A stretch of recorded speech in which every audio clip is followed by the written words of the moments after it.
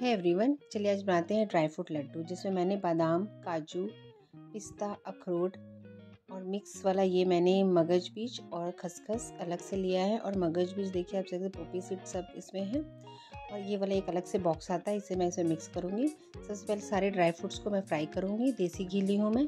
अब dry fruit डाल दी हूँ मैं। ड्राई फ्रूट को डाल के इसे पहले बादाम डाली हूँ, बादाम को अच्छा सा भून लेंगे। सभी जितने ड्राई फ्रूट है सबको अच्छे से ऐसे देसी घी में भून लेंगे और बहुत ही हेल्दी ये लड्डू है।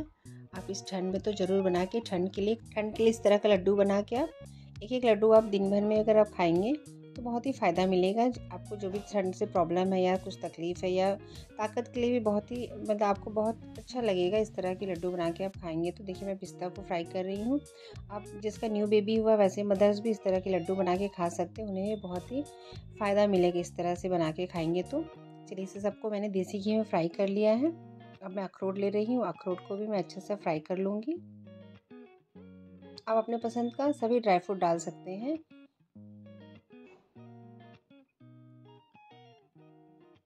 देखिए, सबको मैं फ्राई करके निकाल ले रही हूँ।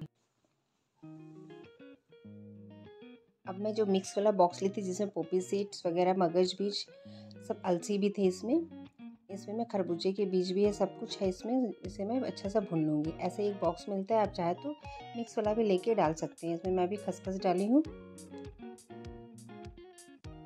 खसखस के भी कई फ़ायदे हैं, ठंड में आपको तो पता ही होगा। जितने मैंने ड्राई फ्रूट्स वगैरह लिए हैं सभी के सबके अलग अलग गुण हैं अलग अलग फ़ायदे हैं, इसलिए मैं इतने सारे ड्राई फ्रूट ली हूँ। देखो, सबको मैं फ्राई करके निकाल दी हूँ।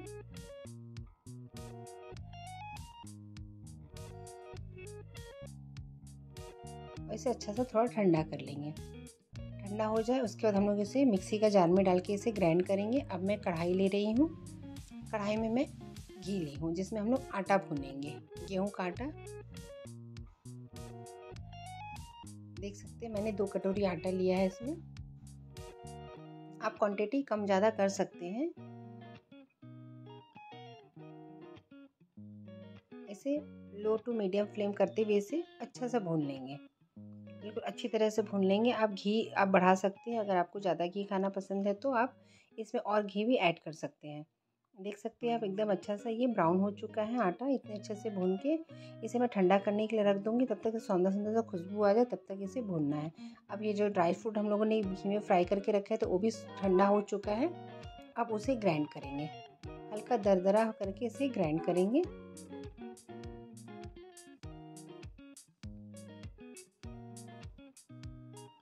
दो तीन बार इसे बंद चालू बंद चालू करके मैंने इसे पीस है आप देख सकते हैं कुछ कुछ पीसेस भी इसमें हैं जो खाते से मुँह में आएँगे तो बहुत ही अच्छे लगेंगे।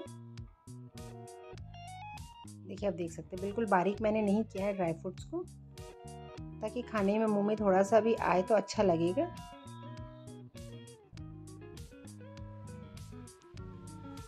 अब सारे ड्राई फ्रूट्स को मैं अब भुना हुआ आटा मिक्स कर ले रही हूँ। देखिए, मगज भी जो खसखस के पाउडर है इसे भी देखिए, हल्का सा मैंने इसे भी हल्का सा दरदरा ही पीसा है। बहुत बारीक नहीं रखा है। इसे भी आटे में मिक्स कर देंगे। सभी ड्राई फ्रूट को इसमें आटे में मिक्स करके इसे अच्छा सा मिक्स करूँगी। बहुत ही सिंपल है, बहुत ही टेस्टी और बहुत ही हेल्दी ये रेसिपी है। आप मेज़रमेंट इसी तरह रख के बनाइए कि अगर आपको इस स्टेज में गुड़ डालना है तो गुड़ डाल सकते हैं। पर मैंने इसमें डाला है। शक्कर का भूरा मैंने इसमें ऐड किया है। अब मैं इसमें ले रही हूँ, देखिए, सूखा नारियल। आपको सूखा नारियल कद्दूकस भी कर सकते हैं, मिक्सी में ग्राइंड भी कर सकते हैं, मैं इसे मिक्सी में ग्राइंड करूँगी। देखिए, इसे भी मैंने अच्छे से ग्राइंड कर लिया है और इसे अच्छा से मिक्स कर लिया इससे बहुत ही अच्छा फ्लेवर आएगा। मैंने इसमें इलायची पाउडर वगैरह कुछ भी ऐड नहीं किया है।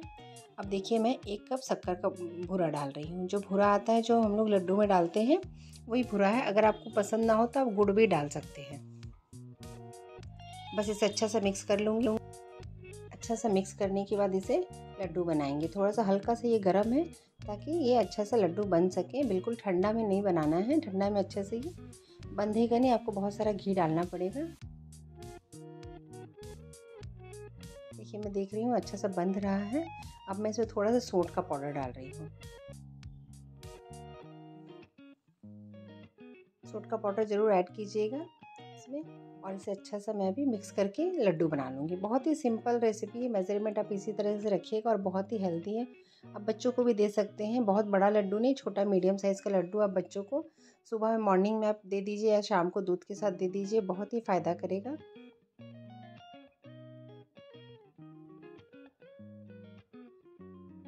देखिए, सबको मैंने अच्छे से लड्डू बना दिया और बहुत ज़्यादा भी देसी घी मैंने यूज़ नहीं किया है। देखिए उतनी कम घी में भी कितने अच्छे तरीके से लड्डू बन रहा है।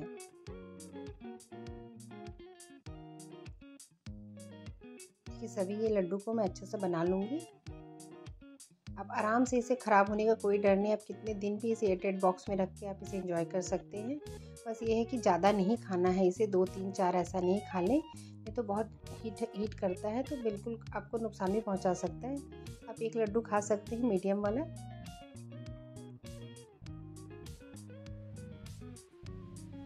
इसे आप ऐसे, आप एक बॉक्स में डाल सकते हैं। देखिए, सभी लड्डू बंध चुके हैं। आप ऐसे करके एक जार में रख के रख सकते हैं।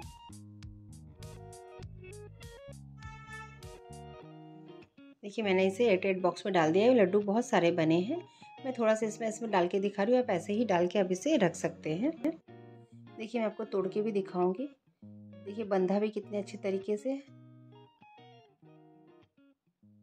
देख सकते हैं अंदर पूरा ड्राई फ्रूट और बहुत ही टेस्टी है। आप खुद ही जान सकते हैं कितनी सारी चीज़ डालने के बाद कि टेस्ट में कितना अच्छा इसका फ्लेवर आएगा और हेल्दी तो है ही है। चलिए आपको अगर मेरी रेसिपी अच्छी लगी, इसी मेज़रमेंट से आप ज़रूर इसे बना के इस ठंड में इंजॉय कीजिएगा। अगर उतनी मेज़रमेंट में बहुत सारे लड्डू बने थे, कुछ तो बनते समय ही ख़त्म हो चुके थे। आप देख सकते हैं, अगर आपको रेसिपी अच्छी लगे तो इसी मेज़रमेंट से आप ज़रूर बना के ट्राई कीजिएगा। आगे मैं और कोई अच्छी सी रेसिपी के साथ आप लोगों से फिर मिलती हूँ। Thank you take care bye bye